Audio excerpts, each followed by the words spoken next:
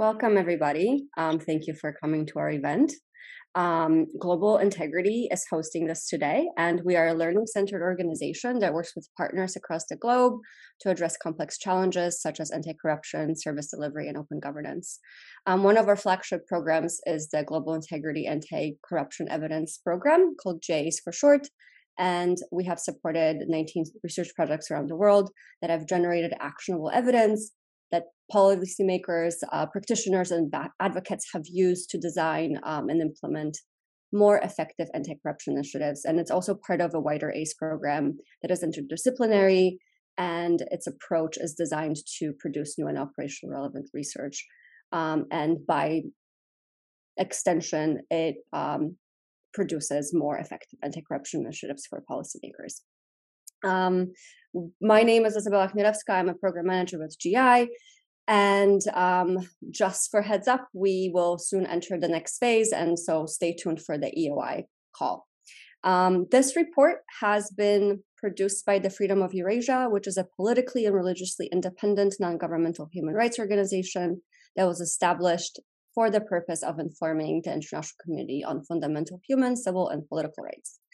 Um, today, we are here with one of um, the researchers behind this report, um, Thomas Mayne, who's also one of our star GIACE researchers.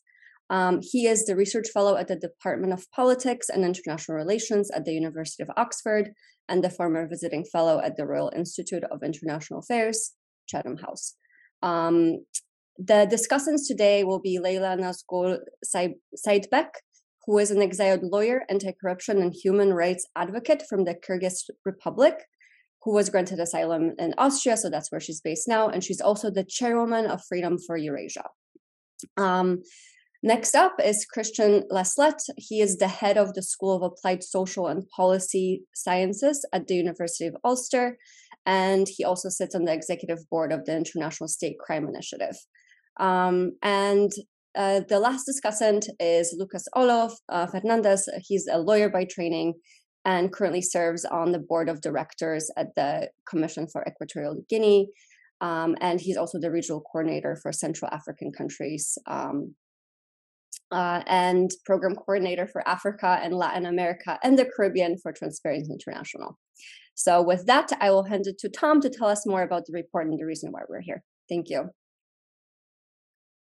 Well, thanks, Isabella, and many thanks to Global Integrity for uh, arranging this uh, uh, event, and, and, thanks to you all for uh, being here.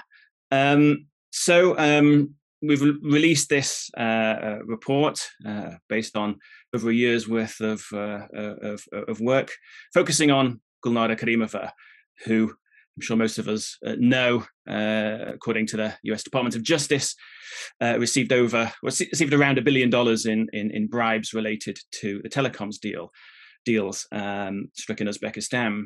Um, and basically, I, I started this uh, research. We started this research as a, as a kind of an internet, intellectual exercise.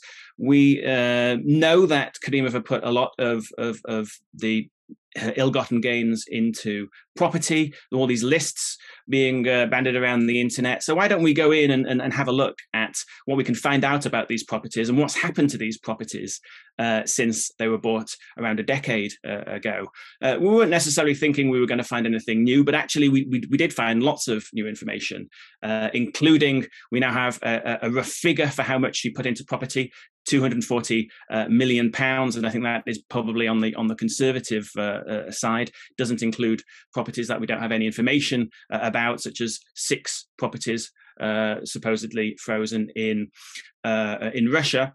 Um, we also learned quite curious things, such as when she was in jail in 2016, she managed to sell one property in, in Hong Kong.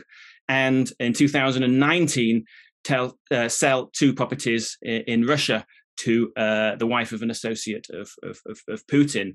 Uh, so clearly, she was getting help from the at the outside. Uh, in regard to the UK, which is where I'm, I'm based, and uh, a, a, lot of this report is about the UK, Karimova had uh, five properties, and she was using uh, British Virgin Island companies to hide her own ownership, and also a proxy in the firm in the form of her boyfriend and uh, former husband Rustam Madumarov. Now, two of these flats w- were sold in 2013 uh, for just over 14 million pounds. Now, that money's gone; it can't be uh, recovered. And a little bit later in, in my comments, uh, we'll get into how how that that that happened and, and why that transaction wasn't wasn't stopped. But I think if we're just taking a step back uh, for a minute, uh, what does this report show? I think this report is yet more evidence that the UK is the worst in the in the Western world at tackling kleptocratic wealth, certainly in proportion to the amount of uh, kleptocratic wealth uh, that is here. Um, some examples from the report: France, uh, where Karimova had uh, three properties, they raided those properties in 2013, and by 2014 they were were frozen. And now at least four of Karimova's UK properties were known or could be ascertained in 2014. Even Tatler magazine was reporting about Karimova having properties in Mayfair in 2014. So why did it take the UK until 2017, seemingly, to do anything about this when this serious fraud office froze the remaining three properties. And six years later, uh, the money from those properties is is, is still uh, to be recovered. That case is still ongoing. And what is uh, disappointing is how little information um, the UK authorities have released about this investigation. Until I pointed it out to them, the Serious Fraud Office had had literally five of text about this case on their website. And um, what we hope the report to do will be to help disseminate information about this case. We have, um, uh, for example, put the uh, civil recovery claim, the skeleton argument from the Serious Fraud Office uh, on top of the uh, on our on the Freedom for Eurasia website, so everyone can see uh, the the at least the Serious Fraud Office's uh, case here. Another example of where things don't seem to have been investigated, you can go online, you can go to Companies House, you can download the accounts for a company called PanAli uh, Limited.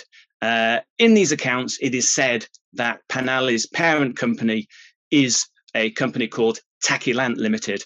Now, if you've been following the cream of the story, uh, Limited is the Gibraltar based company that, according to the US authorities, received these literally hundreds of millions of dollars in in bribes.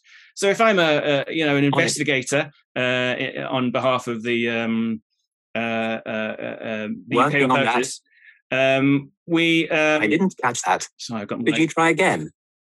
My uh, uh, computer's doing funny funny things. let me off. Um, so if I was an investigator um, uh, looking at possible flows into the UK, a good place to start would surely be uh, PanAli Limited, a UK company that has a link to this Takilant Limited. Um, but has any uh, uh, UK authority, law enforcement authority, looked at uh, PanAli Limited? We don't know, but it doesn't it doesn't seem so.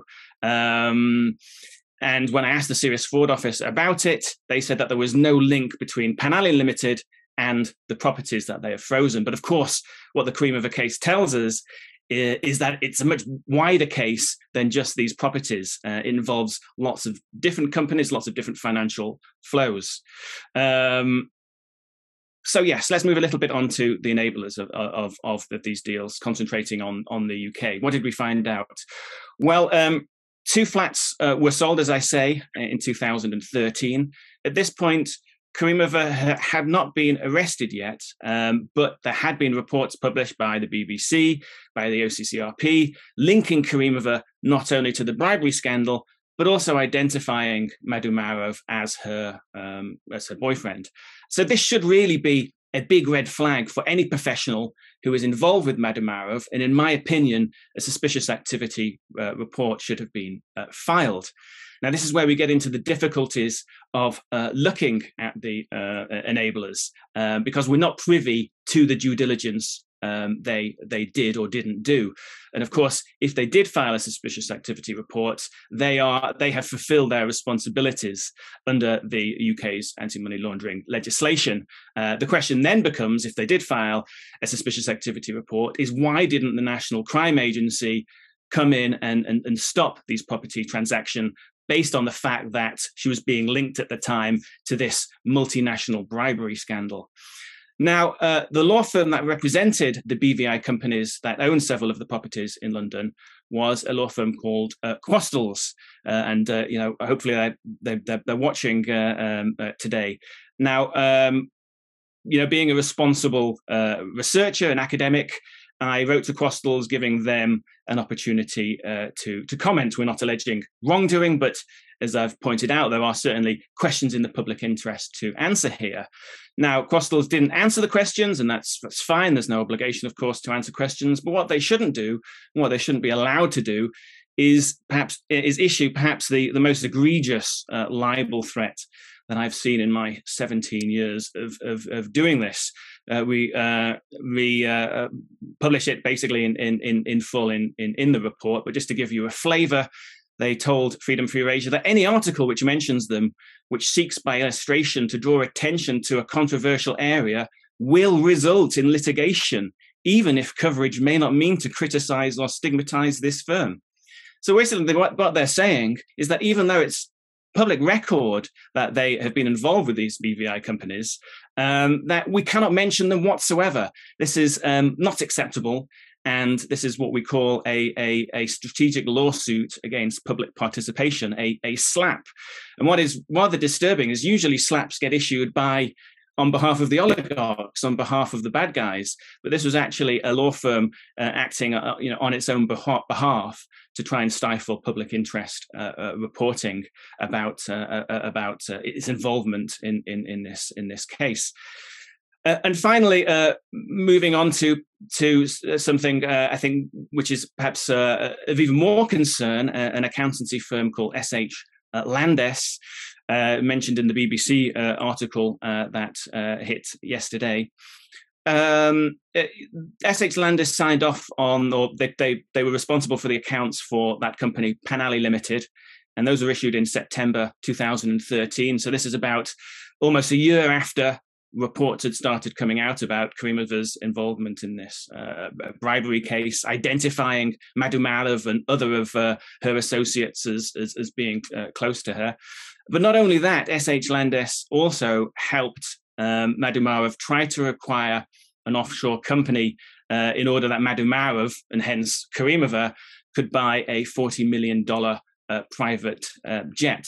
And if you look at the emails that we've been uh, privy to, uh, there are many red flags that should have alerted SH Landes to uh, suspicious activity. Um, one one of uh, one red flag, for example, was that Madumarov was claiming in his as a source of wealth uh, this company Uzdonrobita, a, uh, an Uzbek telecoms company. Uh, anybody who knows anything about Karimova uh, knows her links to this company and, and, and literally five minutes of Googling on Uzdonrobita would have revealed to SH Landes or anybody doing due diligence that there was a potential link between Madumarov and uh, uh, Karimova. So there are many questions to, to, to, to, to answer for SH Landes. Again, have the UK authorities, uh, you know, investigated this, uh, looked into it at all? Uh, we don't know for sure, but my suspicion is that they haven't. And this is even though the UK authorities have said that clamping down on on enablers of of, of, of corruption is is one of their priorities uh, uh, going forward.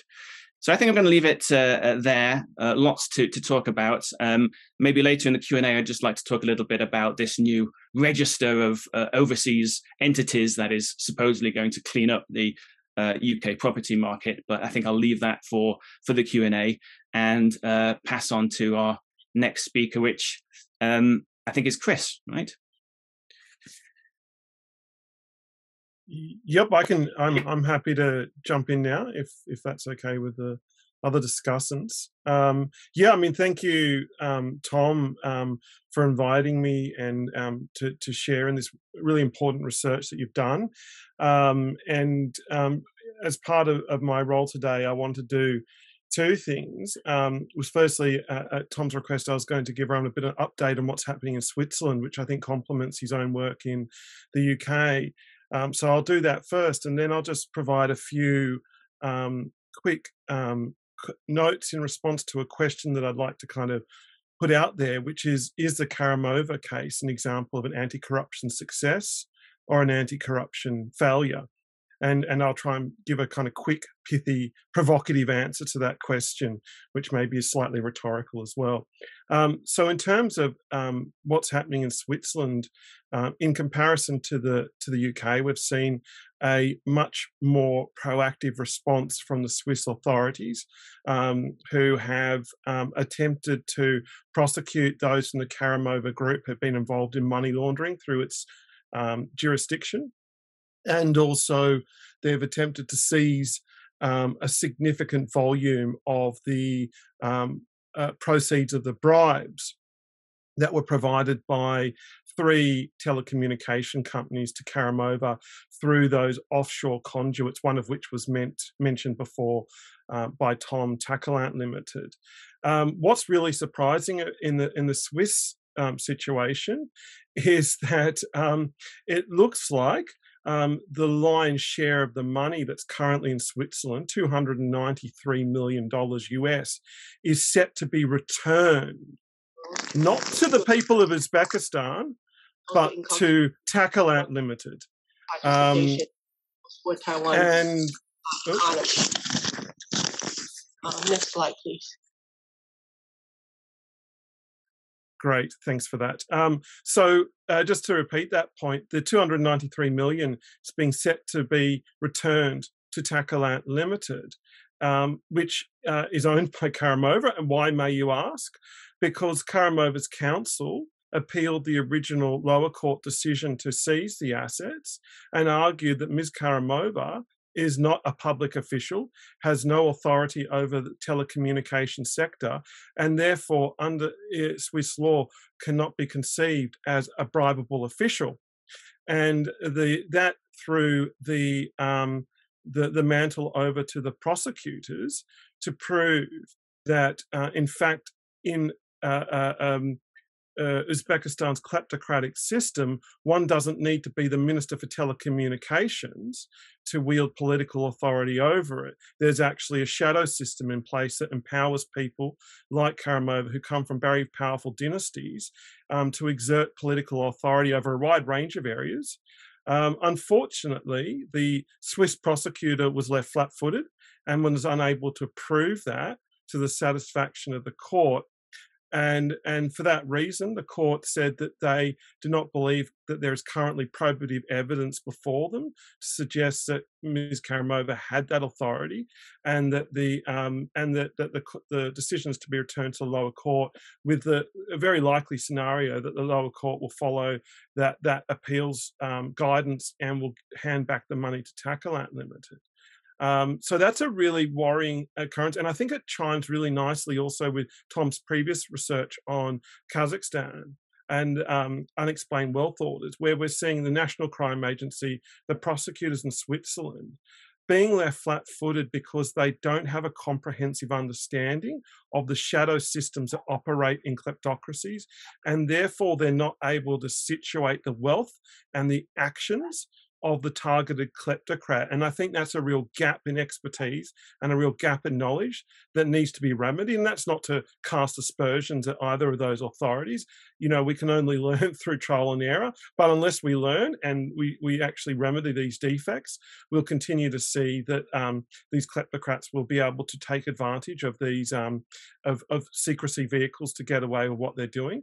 And so the last point I'd just make here, um, and I'll try and do this quickly, um, is is just in regards to um, I think that follows on nicely. Is Karimova the Karimova case an example of anti-corruption success or anti-corruption failure?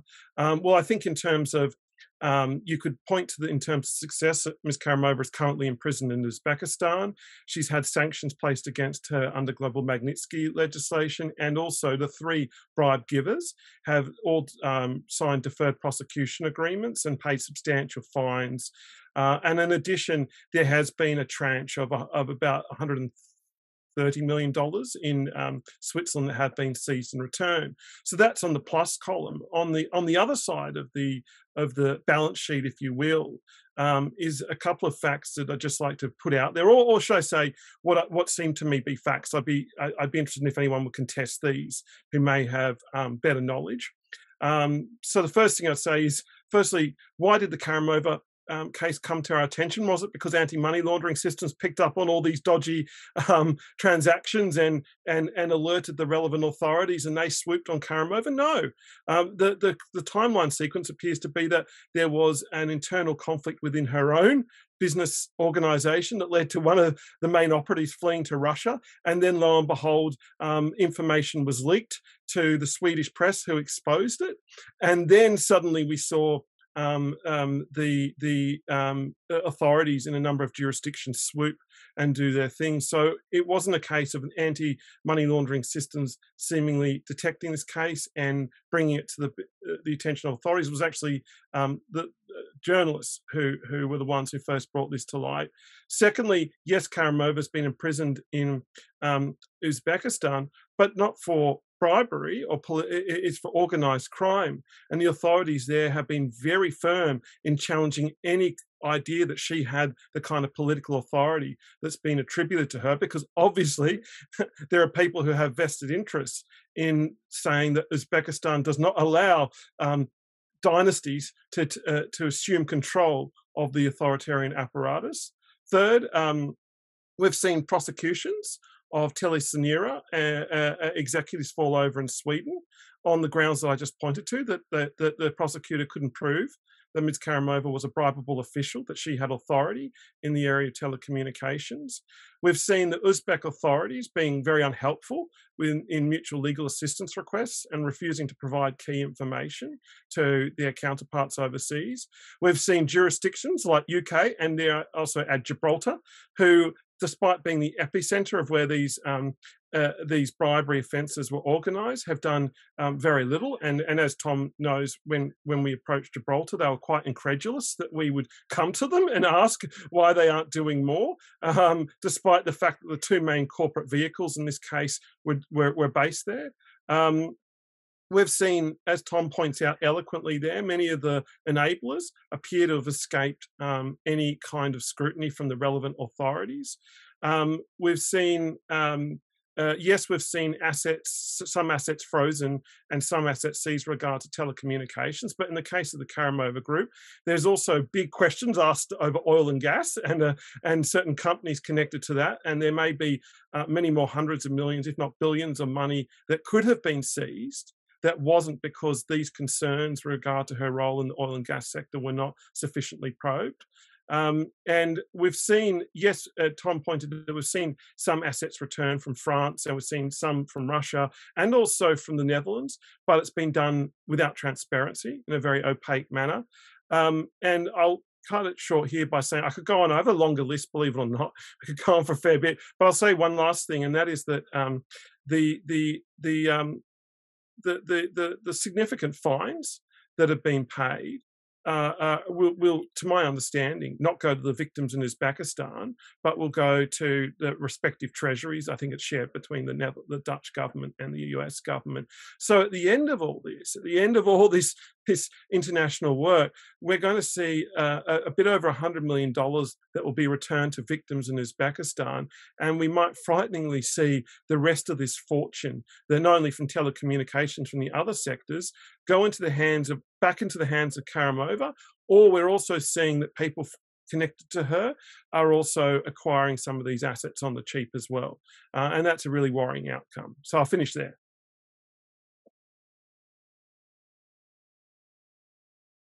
I think it's Leila to pass on to you now. Yes. Um, hello, everyone. Thank you so much for joining us today. Um, I just wanted to um, to, to, talk about uh, briefly about the asset um, return process. Uh, once the assets are identified and are um, traced back to the kleptocrat, and um, there are facts pointing to these assets being the proceeds of corruption, they must be frozen and seized to eventually be returned to the nation um, where they have been stolen. Um, the assets return in itself is a very complex pro- process with um, lots of legal difficulties. But besides that, as um, as the previous speakers have mentioned, it's very difficult to verify the information, um, especially in countries like Uzbekistan and also Russia. We have encountered some difficulties with Tom trying to verify the information provided by the Uzbek authorities about Gulnara's uh, properties and some money that she held on Russian accounts. uh, we have we have not been able to to locate any court records to to give us any details about it. Also about the curious information about um, the plan to split the proceeds between Uzbekistan and Russia that is also not clear how they were planning to carry that out. So as a result of so many um, complexities, uh, the asset return is something that doesn't unfortunately happen very often. And um, uh, the Europol Asset Recovery Unit data uh, provides um, a figure of only 2% um, of assets that are ever seized or frozen, and only 1% that is being confiscated at the EU level. That's a minuscule amount. Um, the real life ex- examples uh, show even greater disparity where billions, tens of billions of dollars are being stolen with only a fraction being returned. Um, and even this money is being returned often without the necessary checks in place that would ensure that the money uh, that is being returned is is uh, used in a responsible manner, is not restolen again, which um, sometimes does unfortunately happen. Um, as Chris has mentioned, the French asset return is um, is something is an example of how restitutions should not be made because it was carried out behind closed doors. It was uh, carried out without the participation of civil society. Um, the the NGOs, the French NGOs, were left completely out of the process, um, and uh, it was also uh, carried out without the mechanisms uh, set up inside Uzbekistan to ensure um, the proper use of the funds. Um, and that was all happening against the background of the reports that were coming out about the, the a big chunk of Gulnara's property in Uzbekistan uh, ending up in the hands of Mirziyoyev, the current president of Uzbekistan, in, in his um, in his relatives' uh, hands, uh, namely his son-in-law, was mentioned. Um, and the thing is, we we it's not like we don't have an example to follow. We do have examples to follow that have been successful. One of them being um, a 2008 uh, asset return to Kazakhstan that was um, done through a structure called BOTA Foundation that was set up by the US, Swiss, and Kazakh government uh, with the support of World Bank.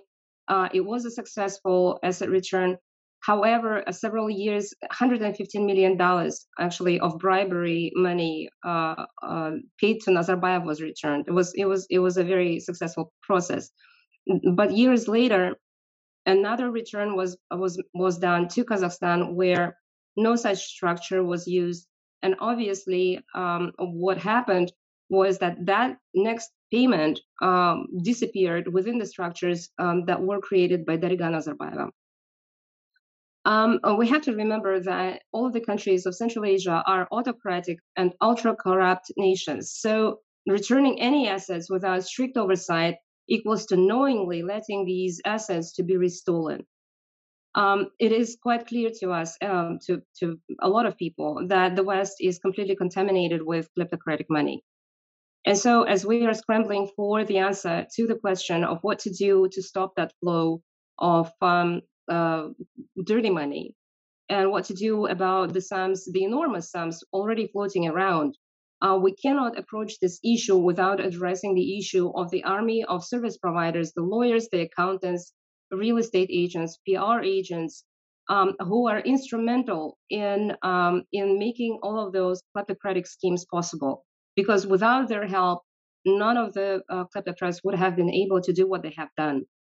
Um, and the list of the clients of these service providers is long and it contains names of princes and princesses that are similar to Gulnara, um, who are also probably known to a lot of you. Um, and um, they, they, many of them are still even not even looked into. And um, I just want to name a few. Um, the, the name of Nazarbayev's clan uh, members, the Kazakh trio that, uh, is is not really Kazakh, is a trio of um, Central Asian oligarchs um, that Tom Burgis and some other authors wrote about um, and who attacked him with a lawsuit. Um, there is a number of Kazakh and Uzbek oligarchs that are worth looking into. There is Maxim Bakiyev that Tom and Global Witness done research on, uh, who lives in Surrey Mansion um, and continues running his operations out of UK. Um, he he hasn't been investigated. There is also Abdul Qadir, a secretive Uyghur oligarch who is standing in the center of smuggling scheme that originates um, out of Central Asia but stretches across the world. He owns um, luxury properties across UK, EU, the United States, um, and he participates in all of the largest projects launched by Uzbek and Kyrgyz authorities through his firms that are based in Germany and the UK. And Chris has done some um, amazing work on researching that person as well. That and the list just goes on, and we can talk for hours just listing those people. Um, so, which means um, there is much work still needs to be done to motivate um, the law enforcement uh, of democratic countries to launch investigations into persons who um, who are known uh, from the the investigations, from journalist investigations, from researchers, um, because taking action against kleptocrats and their enablers um, and against their stolen assets is not only important for the countries of Central Asia, who are of course who of course suffer from uh, from the human rights abuses, which is um, a result of a kleptocracy. But it's also very important for the democratic countries because leaving the issue of export of corruption without a solution um, poisons the societies. It erodes uh, democratic institutions. It um, fosters a laissez-faire attitude towards dirty money and corrupt uh, criminal behaviors, um, and um, it threatens the freedom of speech. All of those things, it tries to destroy all of the things that uh, separate the democratic societies from um, those authoritarian regimes. Thank you. With that, um, I will pass the floor on to the, moder- the moderator. Thank you.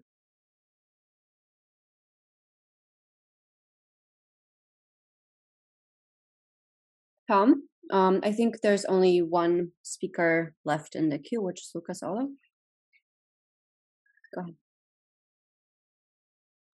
Thank you. I, thank you very much for, for inviting me for, for this session. Just just for for uh, on the wave of uh, presenting a bit myself, I work mostly on Equatorial Guinea and Central African countries. Uh, I, am a board member of the Commission of Justice of Equatorial Guinea. And uh, as um, it was uh, mentioned, one of the uh, key elements that uh, that I could see from reading uh, these reports is the amount of similarities that we can see or we can um, find also in countries in, in Central Africa region. Uh, it is amazing how uh, the examples of human rights abuses, the examples of uh, uh rulers that are still getting more and more power uh, while uh, being prosecuted abroad, but getting more and more power in, in, inside the countries is exactly what is also happening in Central in Central Africa region with the added element that there is actually no even um, expectation of a process of a local prosecution. Excuse me. So with uh, with this being said, uh, my my uh, reaction uh, uh, to the to the report was uh, precisely that that why are, are, we really and I maybe this is also in line with what Kristian said earlier about, about are we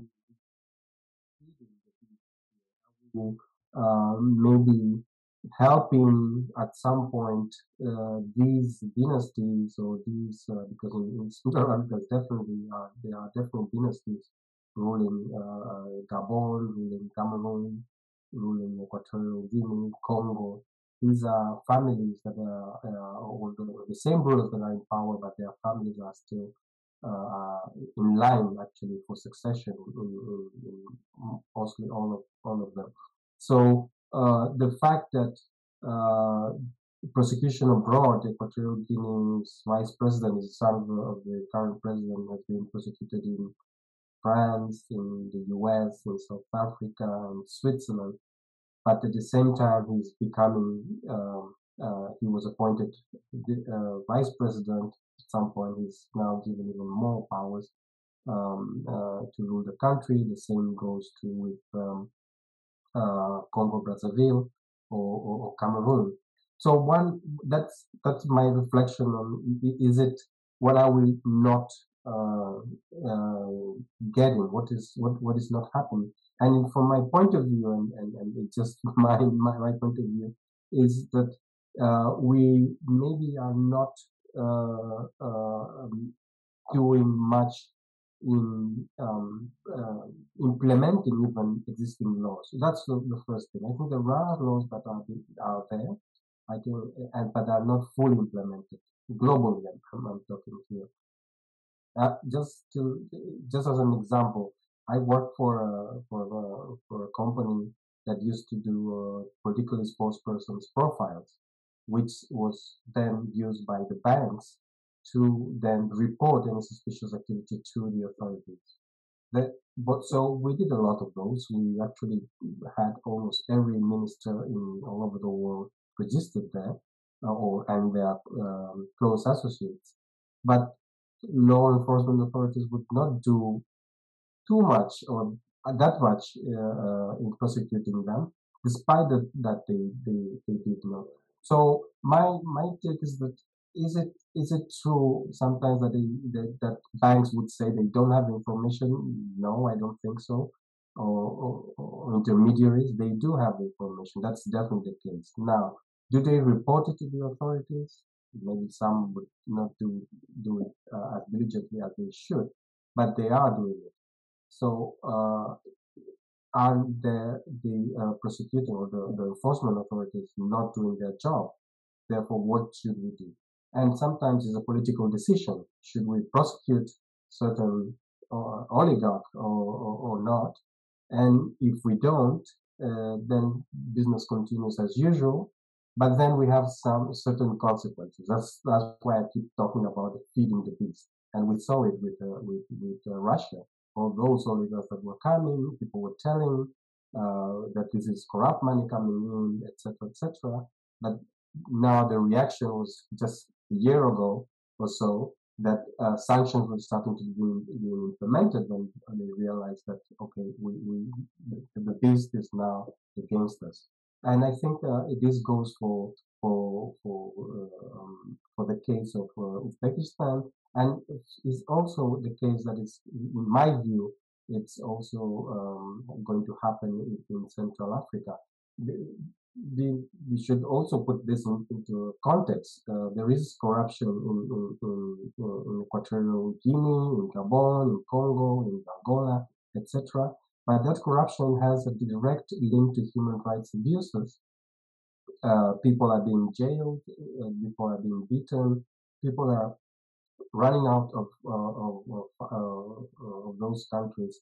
And appearing in, in other countries as as, as uh, immigrants and then being I don't know uh, treated as as, um, uh, as non-human beings.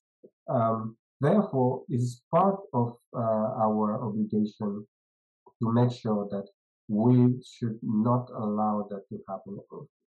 If I'm sitting, I'm based, I'm based in, in, Portugal. If I'm sitting here and don't really understand that, understand that the fact that uh, human rights abuses and corruption in, in, in countries like Congo, etc., are not affecting me here. I'm really naive. So that's that was what I wanted to to share today. Thank you very much for having me. Thanks, Lucas. If I could just uh, jump in. Um, yeah, if you want to ask uh, questions, please please do so. Uh, the the, Q and A is, is open or or in the in the chat if not, there's uh, lots of uh, uh, uh, things we can discuss just amongst ourselves. Just to pick up on something that Lucas said there, if I may, um, about you know laws not not not being uh, uh, implemented. I mean, certainly hit the, the, nail on the head, especially in the UK. It, you know, because in one sense, if you if you if you look at the UK, you know, we're we're ahead of the game in terms of, of, of laws. We're one of the first countries to introduce the beneficial ownership register. Uh, we introduced the unexplained wealth order. Our um, uh, evaluation by the Finan- Financial Action Task Force put us, you know, number one in the last, uh, you know, five ten years or so. Um, and yet we have this seeming flood of of of, of scandals and and and money um, coming into the UK, uh, not much is done, and that is because I think you know the the, the National Crime Agency's uh, budget has been has been cut, and these laws simply aren't um, aren't implemented, aren't enforced. Um, in regard, Lucas, you mentioned also about um, you know I think the banks, and I think this is also quite key uh, based on the research uh, you know I have done. Um, you know the, the, banks escape legal li- liability by issuing countless suspicious activity reports. They could you know close the account and and, and refuse service as indeed any business can but they, they don't tend to do that they just file a, a, SAR to get themselves off the off the hook, uh, and the money keeps flowing. I was just looking at the most recent suspicious activity report published by the UK authorities, came out a couple of weeks ago. We're up to uh, 900,000 uh, a year now. I think last year's figure was over was about 700,000. Uh, um, and we have a system which just cannot cope with the amount of suspicious activity reports being sent by banks. Uh, meanwhile, all the other sectors, real estate agents, lawyers, are sending very few uh, SARs. So the intelligence that the authorities are are are, are getting is um, you know rather limited, and the information it is getting, it's not acting upon.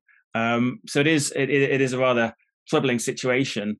Um, what else did I want to to, to say um, on um, Kris's point about you know how how this uh, case was was uh, um, discovered.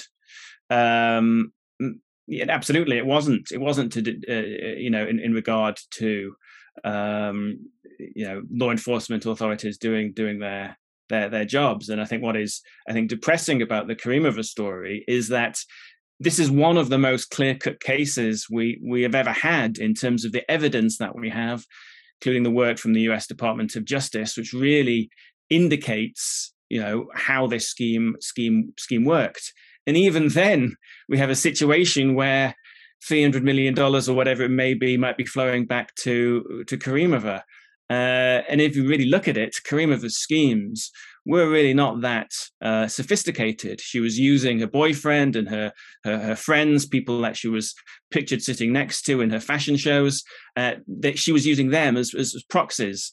Uh, you could easily come up with a with a scheme which used uh, you know more distant proxies, um, using telecoms companies that weren't playing weren't paying so much over the odds uh, to make it look like a legitimate deal, uh, and then then the, it would be even harder uh, to to to to to go after the money. And indeed, you know, the most successful uh, kleptocracies, Kazakhstan, for example, have this element of you know making it look as as as legitimate as as as, as possible. Um, so um, yeah, that's that's just all I wanted to say in response to um, the uh, discussants. Um, as I say, I've got maybe one thing I want to say about the the new register in the UK, but uh, um, I'm not sure if there are any any any any questions uh, Isabella, do you have anything? Not at the moment. There are just a few comments in the chat. Um, so if there are any questions that anyone has in regards to what was presented, please pop them in the Q&A or raise your hand and you can come off mute.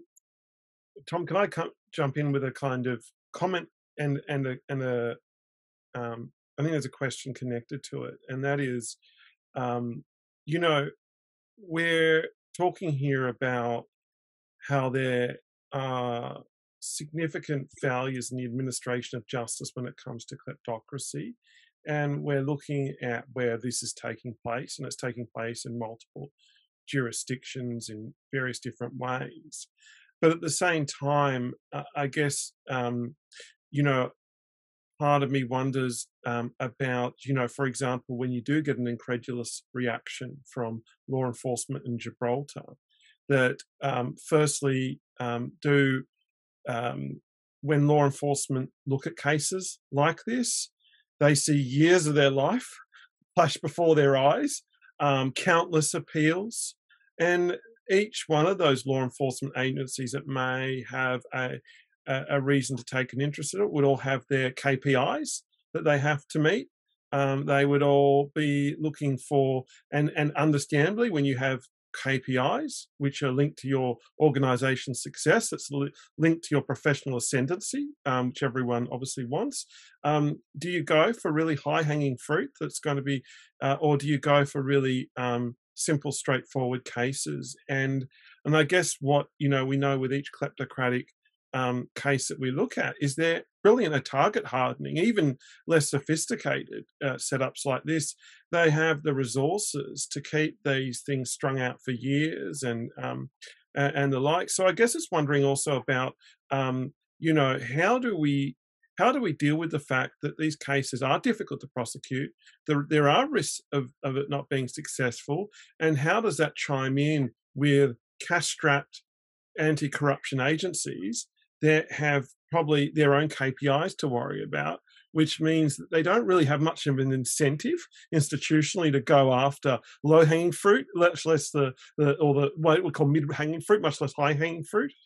I mean, that's a it's a it's a question that sort of resounds for me from from looking at this you know absolutely and, and and what we're seeing is exactly that's that's what's happening uh you know we have uh, you know comments made uh, you know by the national crime agency which have been reported that you know they they they think it's a waste of time to go after anybody who can uh, you know uh, uh an oligarch who can afford an expensive uh, lawyer. Um, and you know, with unexplained wealth orders, we've had this complete failure of the case against Dariga Nazarbayeva, um, but successful cases against the the kind of local mafia guy in, in the north of, of, of England, which suggests that unexplained wealth orders going forward may be more useful uh, to you know targeting the the organized criminal rather than the, the kleptocrats you you would hope that you know maybe with the you know the Russian invasion that you know the, the the the, chickens are coming home to roost a little bit and we're, we're starting to to see that our our, our path is is not being the, the correct one and with you know money laundering cases uh, you know ongoing against several of the of the of the Russian oligarchs you know perhaps that will indicate a uh, you know a, a, a, a, change of some sort. But I think my, my my fear is that the change may only be in relation to to, to, to Russian illicit finance. Meanwhile, all the other stuff just just continues as, as you've pointed out. Because why, you know, would you put the head on, head on your line? You know, the person who was uh, responsible for the Dariga Nazarbayeva um, uh, unexplained wealth order was was was hit with a 1.5 million pound uh, uh, bill of, of to pay her costs, wiping out the entire uh, unexplained wealth order budget. So that person probably isn't going to try the same thing again. So it, it certainly is. It certainly is an issue.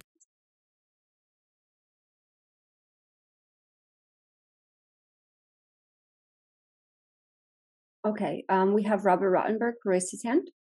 Go ahead, Robert. You. Um, who are her? Who were her enablers at the very beginning? How did she get her start?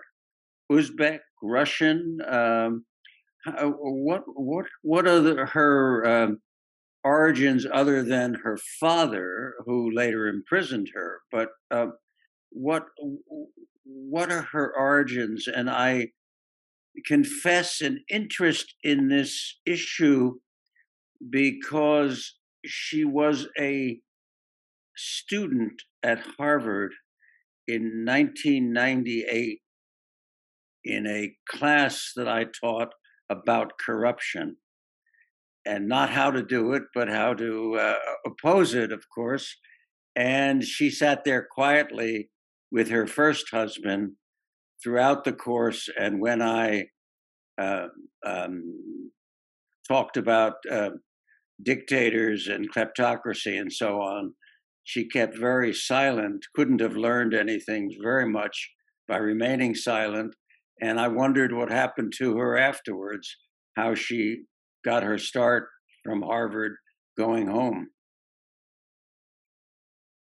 Kris, do, do you want to uh, take that one? You might yeah. know. Yeah, yeah. Well, I mean, I think, um, you know, she went home um, in 2001 after her um, her marriage um, was broken up. She she got divorced from her husband, who was a Uzbek American, the Maksudi family. Um, she went back to um, uh, to Tashkent, and that was where her empire really started to grow and and she um, established footholds in beverages in media in um, in telecommunications um, and in terms of um, you know the, the, the people she was working with or the institutions she was working with and again with that caveat you know, we're not making allegations against those institutions. We're just stating who she, who she worked with. Well, I mean, firstly, I mean, it's probably worthwhile noting that she that her first um, kind of main manager who worked for her claims that he was came to work for her after her his brother was taken hostage by Karimova um, through the, the Presidential Security Services, which uh, he was a former financial advisor to the Maksudi family working in Dubai. He claims then after his brother was taken hostage in Uzbekistan, he came back and worked for Karimova, and he became her first real fixer and organizer um, and, until he fled and got refuge in the United States. Um, and and he would be he would have done a lot of the work in setting up offshore accounts for her.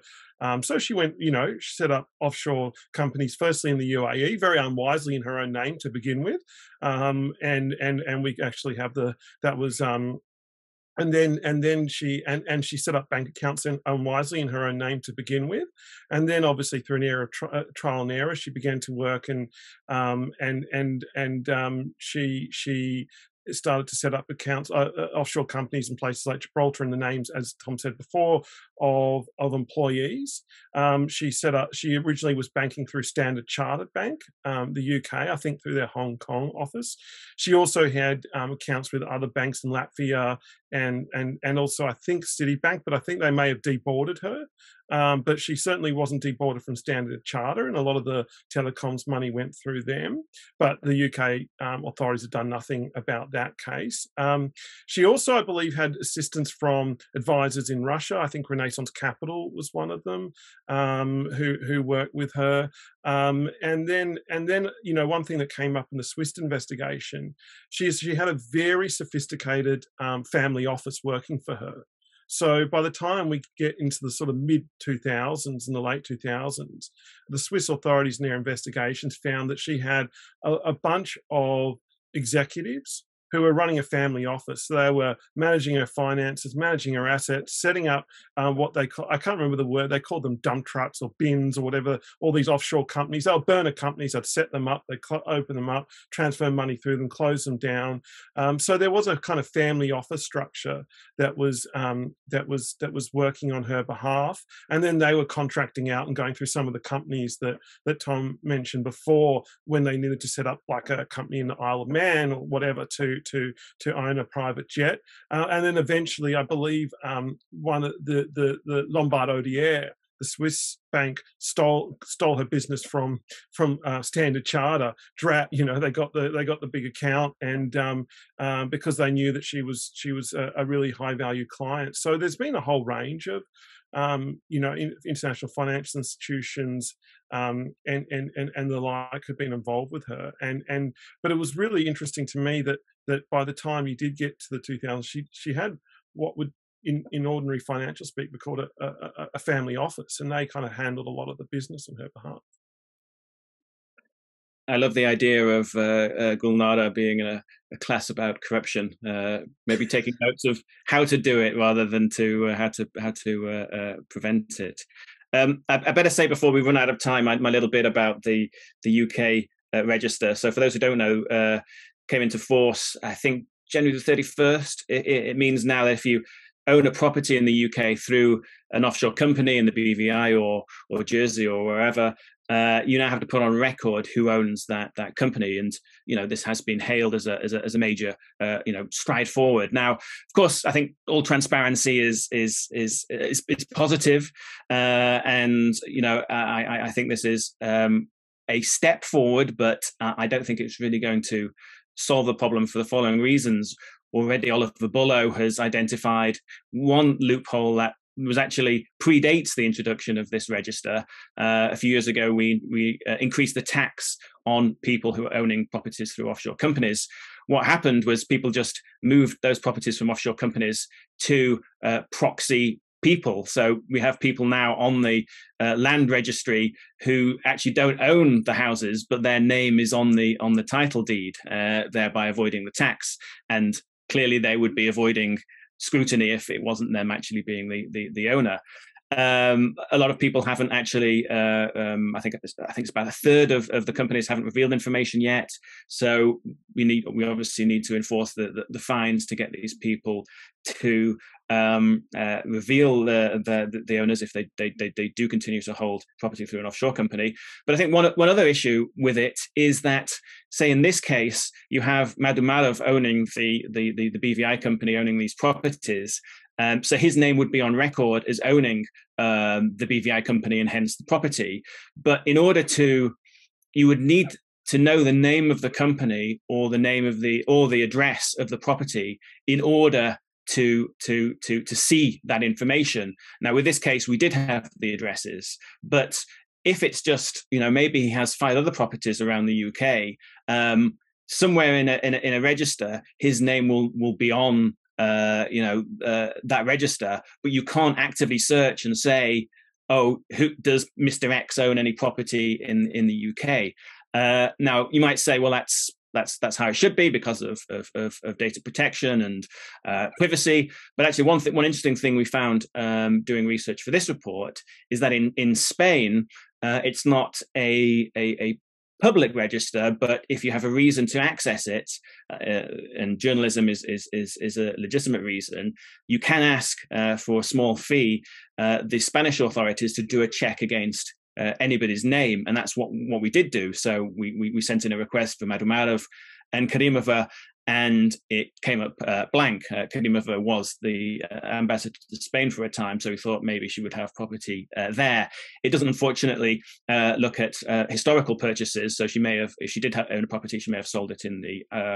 In, in, the interim, but it's interesting that Spain, EU country, has a system where you can actually do this check against uh, against people's names. Obviously, the UK law enforcement can can do those checks, but the wider general public in the UK can't. And maybe that's something, you know, we want to to to, to look at opening up this register for uh, for journalists and for legitimate uh, um, you know, public interest uh, in, in, inquiries, and that would prevent this uh, um, this uh, difficulty that I've that I've noted that as far as I'm, I'm, aware, you won't be able to search for people's names who own uh, uh, property through through offshore companies. Um, so yeah, that's uh, that's the register of uh, overseas entities done. Great, Tom. Before we close, let me ask you the question that we opened the event um, promotion with, which is um, this is a really excellent case on enablers and asset reparation. But the, what does the Karimova case also teach us um, about how civil society can gear up in the fight against kleptocracy? And would love to hear from other speakers as we have two more minutes to go. Thanks. Well, I think we just need, you know, as many eyes on this as as as as, as we can when uh, you know new, new, legislation is is uh, uh, you know adopted. We need it analysed um, in terms of its uh, you know uh, um, how, how how strong it is and whether it's being uh, enforced. Um, I think you know one good thing uh, that's come out in the last ten years is that kleptocracy is is a bit of a buzzword now even people like kind of BuzzFeed are reporting uh, uh, on it. Obviously, with you know Russia's uh, you know uh, illegal uh, invasion, a lot more people are are, are talking about uh, you know dodgy Russian cash in, in in the UK, and those links are being I think made between international organisations all all over the world to try and bring some light to this. And so maybe we can't stop it, but by reporting on it, we can go at least a little bit way in in in, in terms of describing the problem. Great. And Lucas? Yes, uh, I think that's uh, that, that, that's the key point. I mean, it, uh, the, the, civil society can do can do uh, um, uh, reporting, can can uh, raise awareness and tell about those these corruption stories and, and and telling the truth about behind behind behind the, the, those people.